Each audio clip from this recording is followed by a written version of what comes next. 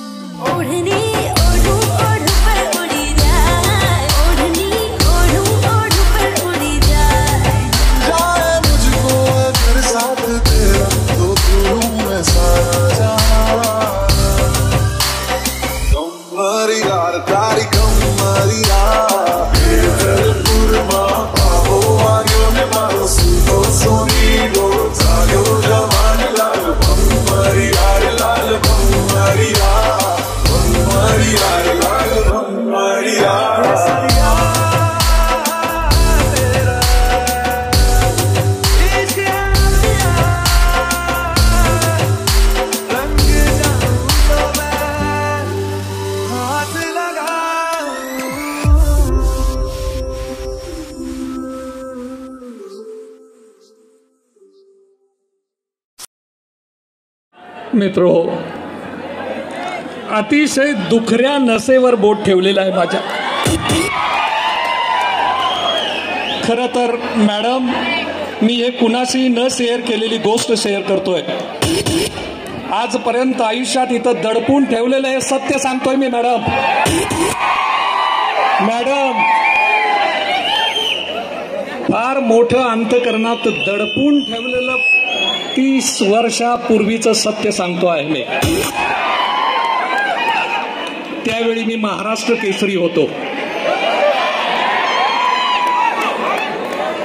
केशवराव भोसलेमध्ये एक मोठा कार्यक्रम होता आणि त्या कार्यक्रमासाठी काही हिंदी चित्रपट सेलिब्रिटी आलेल्या होत्या. आणि त्याच्यामध्ये माझी आवडती सेलिब्रिटी हेमा मालिनी आली होती. मित्र मी असा जबरदस्त महाराष्ट्र केसरी. डोळ्यावर गॉगल एक जबरदस्त घातला होता मी. त्या गॉगलमध्ये समोरनं अगदी आरशासारखं सगळ्यांना दिसत होतं. पहिल्या रांगेत बसलो होतो केशवराव भोसले नाट्यगृहामध्ये. आणि येता येता एक एक करत अशा सेलिब्रिटी येत होत्या. आणि एवढ्यात हेमा मालिनी आली आणि मला इथं एक जबरदस्त कळ आली. मित्र हो तो क्षण माझ्या आयुष्यातला स्वतःला विसरून गेलो हेमा मालिनीला पाहून.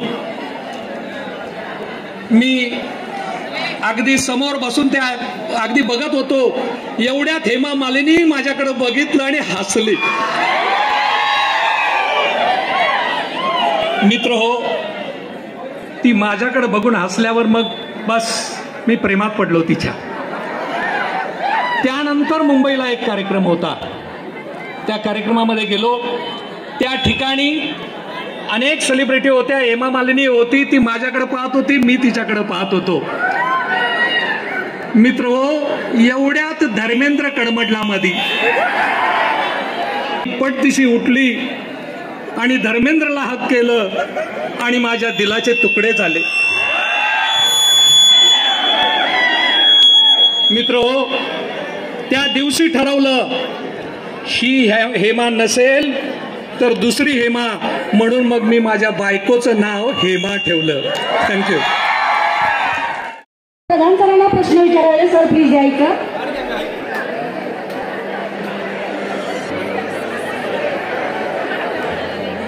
सर तुम्हाला कशा प्रकारची मुलगी आवडेल लग्न करण्यासाठी? माझे लग्न ऑलरेडी झाले मैडम अब तो बहुत देर हो चुकी मुझे ऐसी लड़की चाहिए होगी जो लड़की हो दीवानी सी। मुझ पे वो मरती थी। ऐसा कुछ मैं उसके बारे में कह सकूँ? ऐसी मुझे लड़की चाहिए मैम। भोली सी सूरत आँखों में मस्ती खड़ी शर्माए पूरी खड़ी शर्माए।